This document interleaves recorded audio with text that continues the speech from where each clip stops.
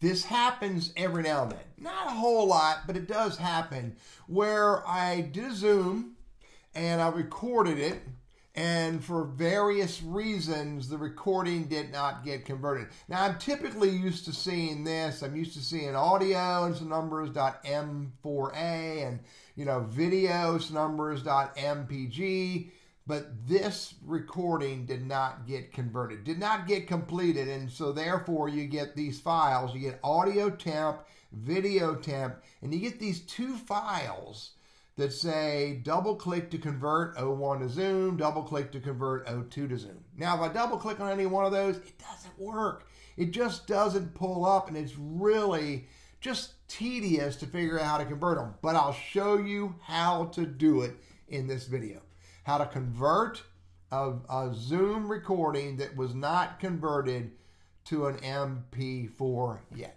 Now, again, double clicking on them does not work.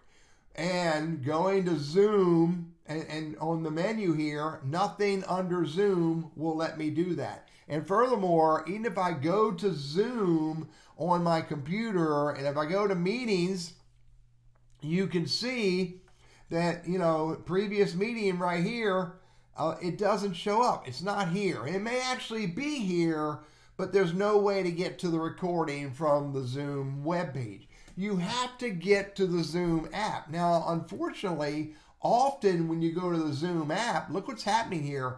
I'm trying to go to the Zoom app. Let me get a second here. I'm, I'm going to bring up the Zoom app. It doesn't bring the app up.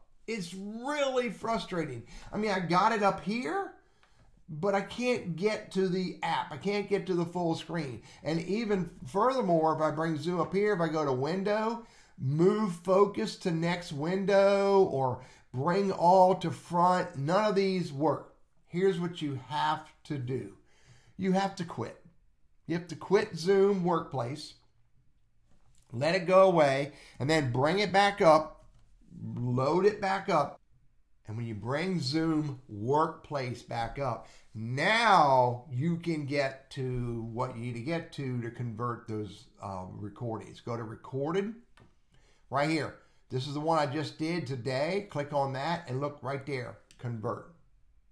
And now to convert those uh, audio and video files that were not converted, it'll convert them and turn them into the M4A and the MP4 for.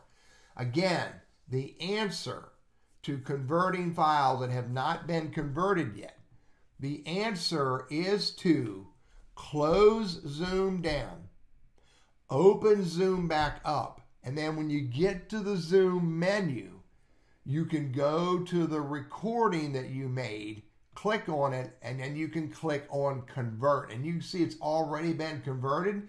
So now I have play video, play audio, or delete. And if I go look in my folder, you'll see that where earlier I had some other file names, the temps and the click to convert, now I have an M4A and an MP4. I'm Teddy. I love using Zoom. Sometimes it aggravates me, and this is one of the cases that aggravated me. I hope this has been helpful for you.